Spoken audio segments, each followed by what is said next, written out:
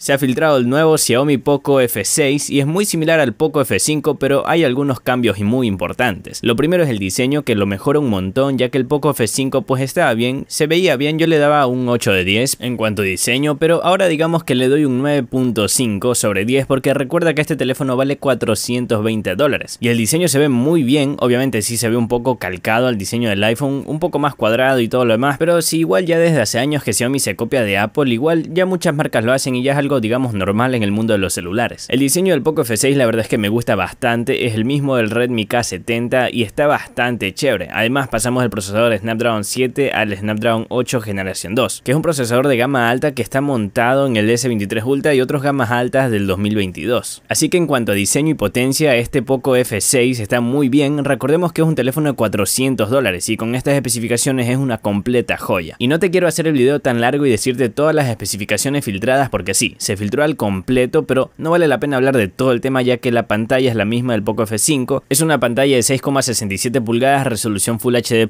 pantalla AMOLED con tasa de refresco de 120 Hz, que sí es una pantalla bastante buena, pero sin más es la misma del Poco F5, que está bastante bien y rinde bien. Igualmente pasa con las cámaras, que son las mismas del Poco F5, que están buenas, con la G-Cam puedes sacar unos buenos resultados, no está cantando, pero sí funcionan bien. Recuerden que el enfoque principal de este teléfono no es la fotografía. Y bueno, ya en cuanto a la batería y la carga rápida, tenemos 5160 mAh y una carga rápida de 120 watts. En esto se ha mejorado un poco, pero lo más notable, como les dije en el inicio del video, es su potencia, que ya ahora pasa de tener una potencia de un gama media alta a la potencia de un gama alta. Y que su diseño pasa de ser un diseño medianamente bien a un diseño que me encanta como se ve. Su diseño es de cristal con los bordes metálicos y su pantalla tiene unos marcos muy bien reducidos. Al menos en mi opinión este es un buen Xiaomi calidad-precio. Y viene con el nuevo sistema de Xiaomi HyperOS, pues la verdad está funcionando bien. Esto ya queda criterio igualmente de cada quien, pero a mí me gustó. Yo le doy un 9 de 10, al menos me hubiera gustado que mejoraran un poco el tema de las cámaras, pero el resto es una joya por los 420 dólares que cuesta y está muy bueno. Eso sería todo por el video de hoy. Si les gustó deja tu like, suscríbete y nos vemos en un próximo video.